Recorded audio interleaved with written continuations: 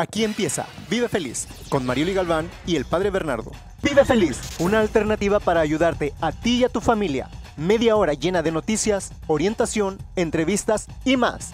Vive Feliz, un programa de la Diócesis Católica de San Diego para apoyar a las familias en la región. Iniciamos. ¡Ah, qué bárbaro! Ya estamos iniciando, gracias a Dios, una vez más. Vive feliz con Marioli Galván y el padre Bernardo. Muy buenos días, qué bueno que ya nos estás acompañando desde tempranito. Y aquí en cabina, Marioli, buenos días, ¿cómo estás? Muy bien, padre, buenos días, feliz domingo. Gracias, igualmente, ¿ya despierta y todo? Despertita. Y ya al ratito haré ir a misa también. Muy bien, qué bueno. Qué bueno, muy bien. Cuéntame, ¿qué tenemos preparado para el programa del día de hoy? Padre, ¿sabes lo que se celebra el día de hoy? No es mi cumpleaños, eh, no es... No, ¿qué se celebra? El día de hoy, bueno, siempre hay algo que celebrar, pero el día de hoy precisamente celebramos el día en que todas las personas en las iglesias que enseñan catecismo o que enseñan la, la fe, la formación de fe, se celebra el día de hoy el inicio de este nuevo año, así como tenemos un inicio de año nuevo al principio del año, otros que también celebran el año nuevo académico, también tenemos año nuevo en la iglesia.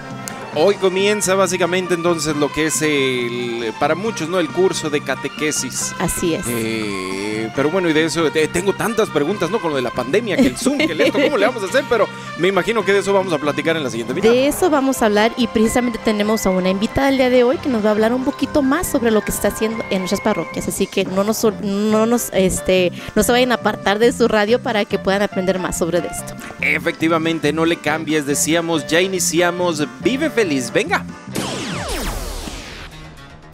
Bueno, y vámonos con nuestra primer sección en el programa del día de hoy, que son las noticias. Y vamos a comenzar eh, con una, eh, ahora sí, con una noticia alarmante, ¿no? Una noticia eh, que nos pone la bandera roja como a todo lo que da. Y es que esta semana que acaba de pasar, escuchamos sobre mujeres detenidas por las autoridades de inmigración en el sur del país. Pero bueno, ¿qué de, eh, de especial, qué de alarmante tiene esta situación, además de que están detenidas? Bueno, es que una enfermera aseguró que las mujeres inmigrantes detenidas en una instalación de inmigración en Georgia fueron sometidas a histerectomías masivas. Por resultado, grupos proinmigrantes presentaron una queja formal ante la oficina del inspector general del Departamento de Seguridad Nacional. Los grupos explicaron que la enfermera trabajaba en el centro de detención del condado de Irwin. Ella dijo que en la instalación de ICE fue el lugar de los procedimientos y que las mujeres puede que no hayan entendido lo que les estaba pasando. Varias organizaciones católicas nacionales pidieron una investigación completa e inmediata de las acusaciones de histerectomías forzadas. La directora de una de estas organizaciones calificó este hecho como el mayor acto de violencia contra la mujer. ICE ha dicho que no comenta sobre asuntos pendientes ante el inspector general. Por otra parte, los incendios en California, eh, o los múltiples incendios, debemos, debemos decir, los múltiples incendios forestales en el norte de California están causando tremendo daño a las comunidades, inclusive a las parroquias en la región. Varias diócesis han sufrido daños extensos y la amenaza continúa eh, dado que los más grandes no están contenidos, los incendios más grandes no están contenidos.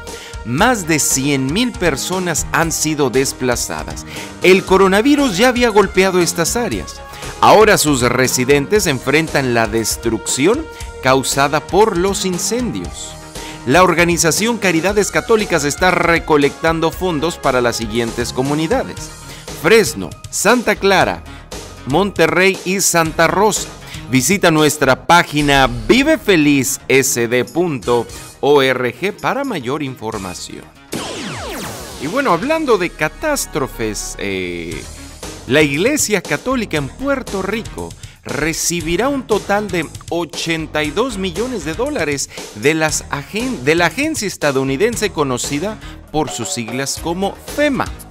Los fondos se utilizarán para reconstruir iglesias, escuelas y otras estructuras dañadas o destruidas por el huracán María en el 2007. La arquidiócesis de San Juan y las diócesis de Arrecibo, Caguas y Fajardo Humacao planean utilizar los fondos para construir estructuras más resistentes a los daños del clima. En noticias internacionales, una corte de España condenó a un ex coronel salvadoreño por el asesinato de cinco sacerdotes jesuitas en 1989. Un acto raro de justicia por una autoridad cometida durante la sangrienta guerra civil de El Salvador. Un fallo del 11 de septiembre dictaminó que el ex coronel Inocente Orlando Montano, de 77 años, había planeado y ordenado los asesinatos de los cinco sacerdotes jesuitas, todos de nacionalidad española. Esto fue el 16 de noviembre de 1989 en su residencia en el campus de la Universidad Centroamericana en San Salvador, dirigida por los jesuitas. Montano, presente durante el juicio en Madrid en una silla de ruedas, fue condenado a 133 años, 4 meses y 5 días de prisión. 26 años, 8 meses y un día por cada asesinato. Testigos dijeron durante el juicio que Montano consideraba a los jesuitas como traidores y consideraba junto con otros en el ejército que la Universidad Centroamericana estaba infestada de rebeldes del grupo Frente Farabundo Martí para la Liberación Nacional.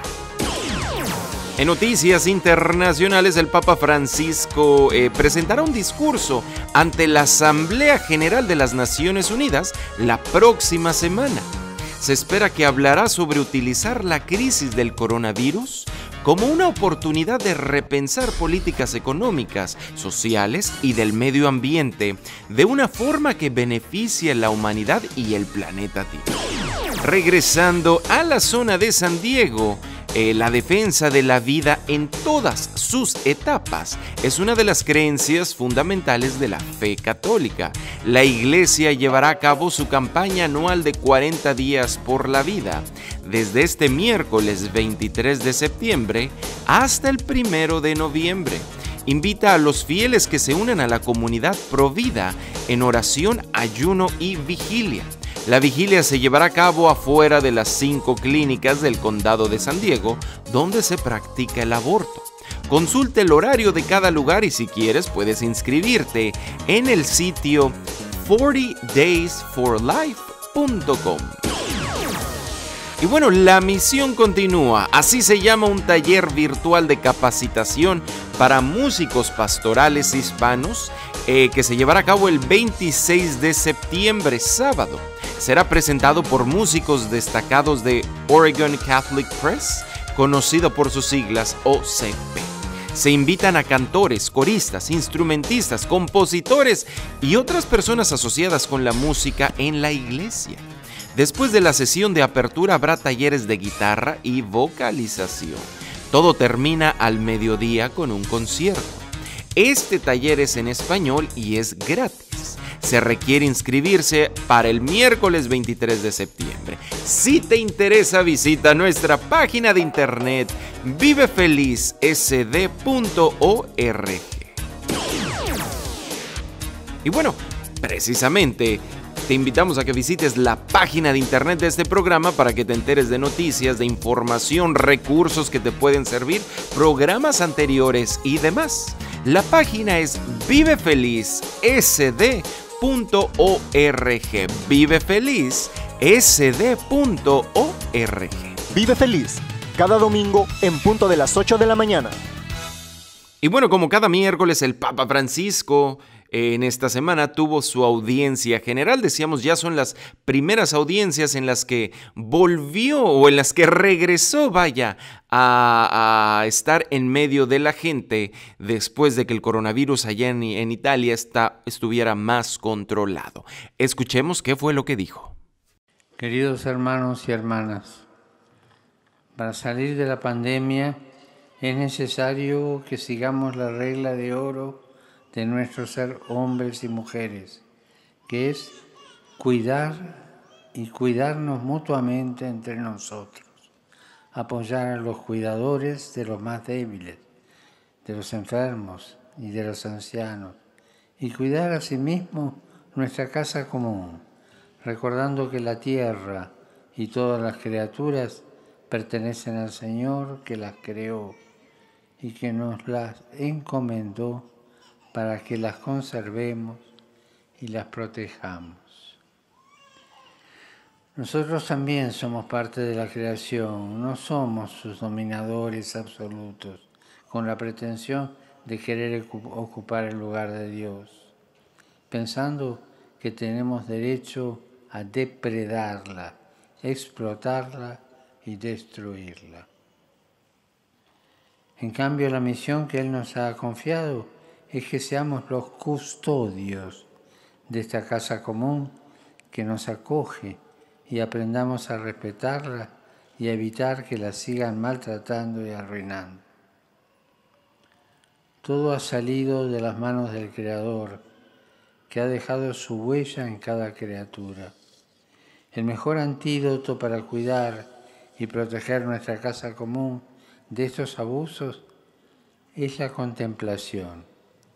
El mismo Señor nos invita a admirar maravillado y en silencio su obra para poder reconocer en cada criatura el reflejo de su sabiduría y su bondad. Ser contemplativos nos lleva a ser responsables con estilos de vida sostenibles que respeten y protejan la naturaleza, de la que también nosotros formamos parte. Saludo cordialmente a los fieles de lengua española. Pidamos al Señor Jesús que nos conceda ser contemplativos para alabarlo por su obra creadora, que nos enseñe a ser respetuosos con nuestra casa común y a cuidarla con amor, para bien de todas las culturas y las generaciones futuras. Que Dios los bendiga. Vive feliz, un programa de tus amigos en la diócesis de San Diego. ¡Ah, qué bárbaro! Y bueno, ya estamos de regreso aquí en Vive Feliz. Marioli, ¿qué sigue en el programa? Padre, ¿te acuerdas que te había comentado que hoy celebramos el domingo catequético, digamos el domingo donde iniciamos nuestra catequesis, la formación de fe en las, parroquias. Pues esta mañana nos acompaña Elena Platas, ella está con nosotros, ella es directora de catequesis en la parroquia de Saint Derek. Bienvenida Elena. Muchas gracias Marioli. Elena, cuéntanos brevemente en tu experiencia cómo ha sido todo este de la pandemia y cómo esto ha influenciado en la forma en que tú ayudas a las familias a seguir su formación en la fe.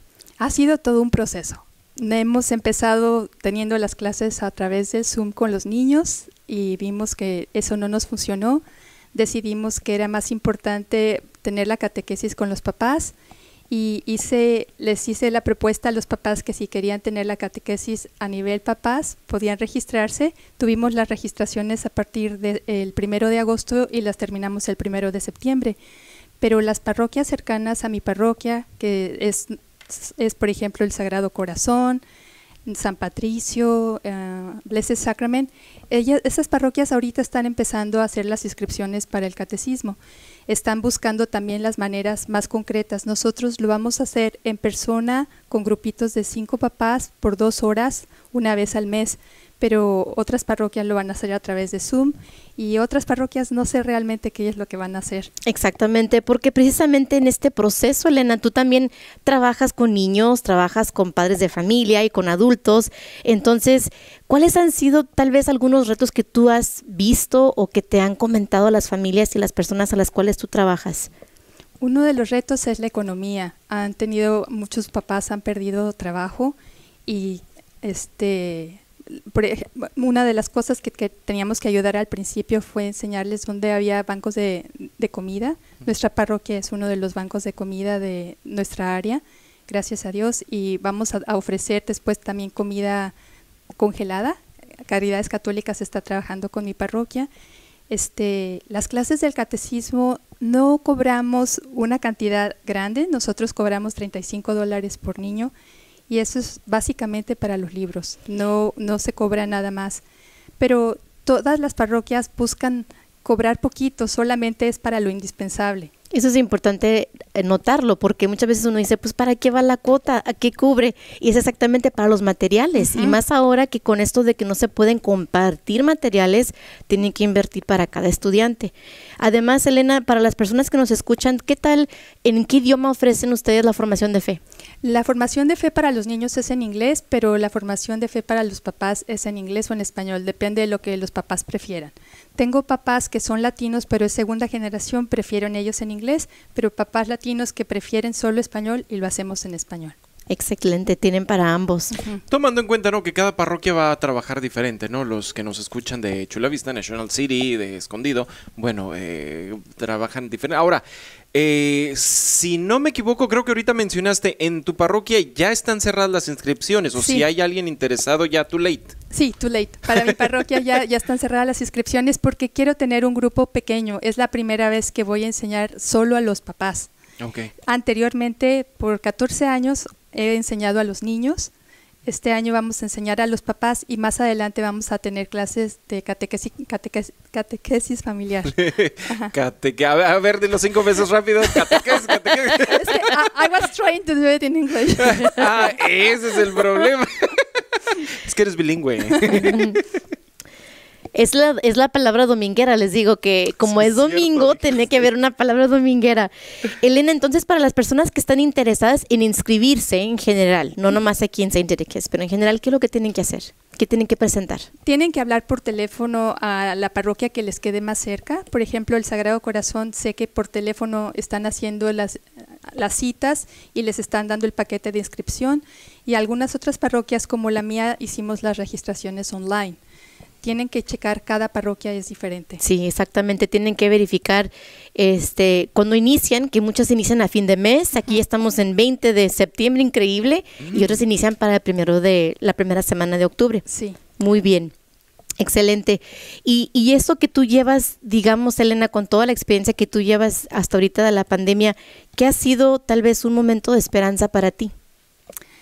Bueno, creo que he crecido yo como, persona a través de la pandemia con todo el apoyo que realmente la diócesis, la gente que trabaja para el obispo nos ha dado a los que trabajamos con los papás porque nos han enseñado nuevas maneras de aprender y de enseñar. Para mí ha sido eh, un punto muy importante y de alguna manera el hecho de estar en la computadora con los niños y con la gente me ha hecho más cercana a estar en sus casas, cosa que antes ellos iban a mi parroquia y ahora yo tuve la oportunidad de ir a sus casas. Dice, no, dice que ahorita que estás hablando de lo de las pantallas, que la palabra más, más eh, o la frase más sonada durante este 2020 es, estás en mute o tu micrófono está apagado. Ay, no, lo que nunca, no. ¿Cuál fue otro? Digo, aprovechaba que antes en mis tiempos uno se brincaba la barda de la escuela y se iba de pinta. Ahorita ya nomás apagan la cámara y ya es el modo actual de irse de pinta. Sí. Pero bueno, regresando a lo que es el tema, ¿no? ¿Qué mensaje le das a los papás, a los padres de familia? Yo les invito a los padres de familia que le pidan a la Santísima Virgen, María, y al Espíritu Santo que les ayude a ser buenos papás que sin, sin el Espíritu Santo nosotros no podemos compartir y dar el amor de Dios. Y la Santísima Virgen fue la que aceptó al Espíritu Santo y en ella se engendró Jesús. Entonces, qué mejor ejemplo que ella. Excelente, y no solamente esto, pero también recordarle a los papás que nos escuchan que ellos son los primeros portadores de compartir la fe, lo que les llamamos los primeros catequistas, que son ecos. Entonces, sean ustedes un eco para sus hijos, para que ustedes le puedan poner ese ejemplo a seguir, y precisamente lo celebramos el día de hoy, en este domingo dándoles a ustedes las gracias y a todas las personas que de alguna forma están sirviendo a las distintas parroquias que existen aquí en la diócesis, son 98 en total, y por todo su servicio como tú, Elena. Así que muchísimas gracias por acompañarnos el día de hoy. Gracias, Marioli. Que Dios te bendiga. Gracias, Elena.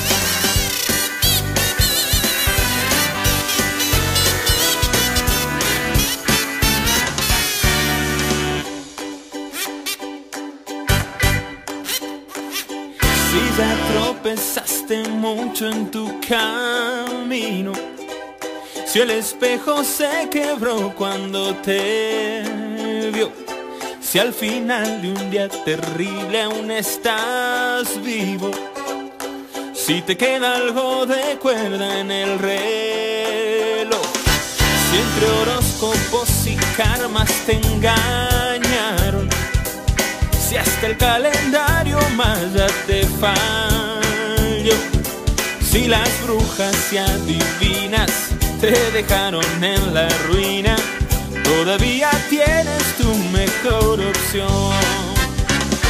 Pura gracia, todo, todo es pura gracia. Gracia contra las desgracias, gracia para el corazón. Pura gracia, todo, todo es pura gracia. Gracia que a todos alcanza.